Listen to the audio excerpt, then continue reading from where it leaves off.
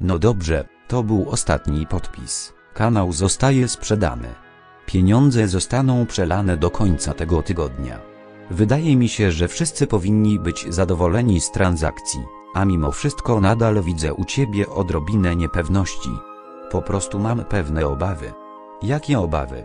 Obawiam się, że kanał zostanie źle poprowadzony. Pojawią się tutaj treści, które nadają się tylko dla aroganckich silverów. Słuchaj no panie ważny. To, że nie mam tu teraz za dużo do gadania, nie oznacza, że nie mogę mieć pewnych wymagań.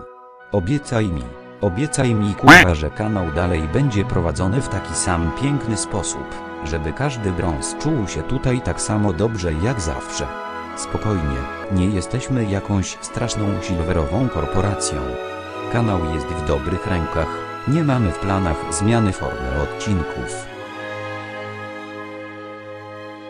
Mam taką nadzieję.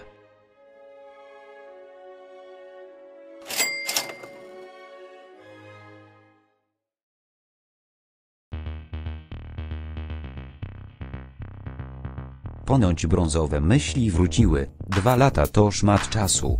Jestem ciekawy jak wygląda nowa odsłona brązowych taktyk albo czego przez ten czas nauczył się mistrz Fidolu. Ale śmieszne miniaturki, to pewnie taki kawał prowadzącego. Cześć wszystkim! Pewnie nieźle się zdziwiliście widząc nowy film na tym kanale, ale doszliśmy do wniosku, że pora go obudzić. Nie jest to format, który znacie, a coś zupełnie innego. Mamy nadzieję, że przyjmiecie to pozytywnie jako nowy rozdział historii brązowych myśli.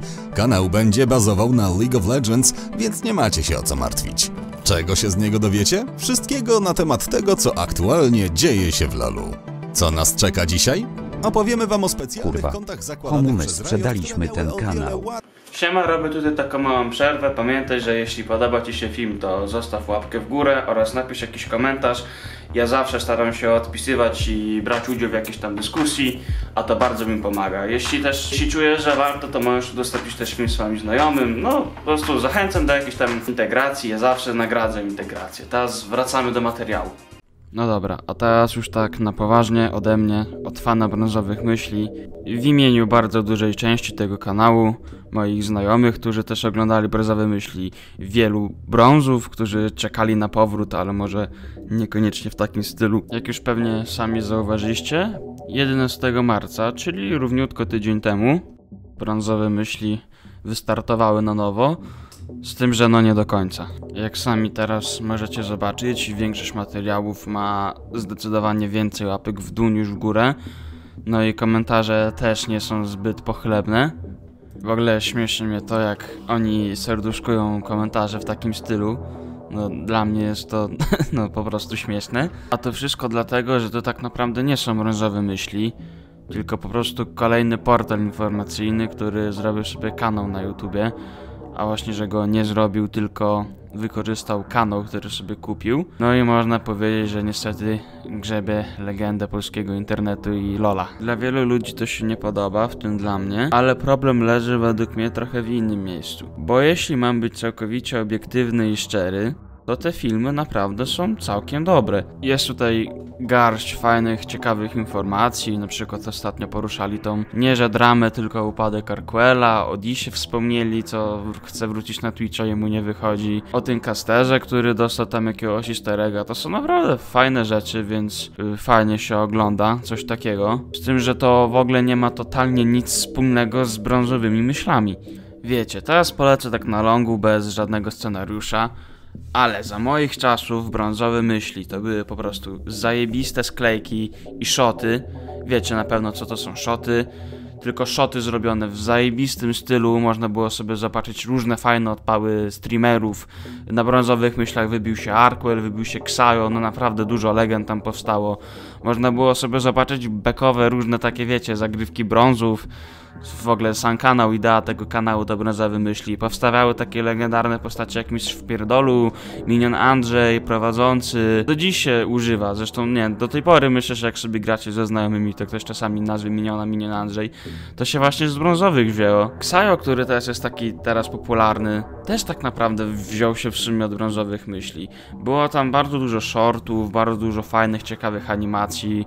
Była brązowa Akademia Taktyk czy coś takiego, gdzie tam trochę na poważnie, ale tak głównie raczej z jajem się wspominało, raczej opisywało totalnie beznadziejne akcje w takiej pseudo-fajnej otoczce. Było takich dwóch ziomków od sportu, tam chyba Bartuś był, ale nie jestem do końca pewien, czy on tak się nazywał.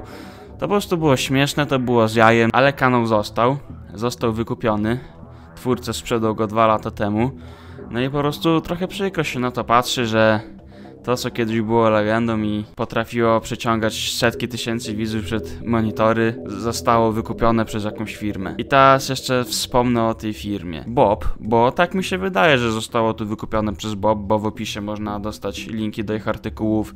Na ich fanpage'u już od paru lat cały czas pojawią się tam ich artykuły no i generalnie wszystkie poszlaki do nich prowadzą, to naprawdę nie jest nic złego, ale ja uważam, że to powinno po prostu zostać stworzone na nowym kanale. Ba, nie tylko ja tak uważam, spotkałem się przed takim komentarzem. Obejrzałem cały odcinek i powiem wam, że ogólnie spoko. Przydatne nawet informacje, ale łapki w dół będą pozostawiane przez widzów i to przez dwa główne czynniki. 1. Lektor mimo zajebistego moim zdaniem głosu. Pracował dla jasnej strony, a jasna strona ma pod swoimi skrzydłami terakowe kanały trołom trołom. Bo jak inaczej powiedzieć na Fechacki do szkoły na przykład, które za cecha ja się nie przydają. I przez to wszyscy po jeden słowach już czują zniesmaczenie, bo myślą, że ten kanał został właśnie sprzedany tym z jasnej strony i tym podobne jak jest. Nie wiem. 2. Jednak wszyscy starzy widzowie pamiętają Bartka, montażystę, miniona Andrzeja, żart prowadzącego i ogólnie czarny humor, który pojawił się na tym kanale, a nawet po dwa latach przerwy coś takiego. To trochę tak jakby jeden youtuber nagrywał Minecrafta przez paręnaście lat. Zdobył trochę widzów i nagle by zaczął nagrywać coś innego. Odbiór ludzi też nie byłby za fajny, taki Szeo na przykład nagrywał tylko Minecrafta i nagle pod filmem z dołączyłem do domu X, który był albo jest hejtowany, miał troszkę łapek w dół, pozdro dla czytających. Wyobraźcie sobie na przykład, że teraz, nie wiem, taki Rock Alon uznaje, że a, on to w sumie już ma w nosie tego YouTube'a, sprzedaje kanał dla kogoś i na jego kanale zaczynają się pojawiać jakieś reklamy mango. No też na pewno czulibyście jakiś po prostu taki niesmak i no na pewno byłoby niefajnie. Ja oczywiście nic tutaj nie zmienię, do niczego nie namawiam. Twórcy sobie zrobią z tym co chcą. Może jak oni tak cały czas się chwalą na początkach filmów, że starają się znaleźć odpowiednią formę, może znajdą w tym jakiś balans. Ja myślę, że jeśli mogą korzystać z tych postaci, to może zrobiliby coś z, z nimi. No, drogi na pewno mają bardzo dużo i możliwości.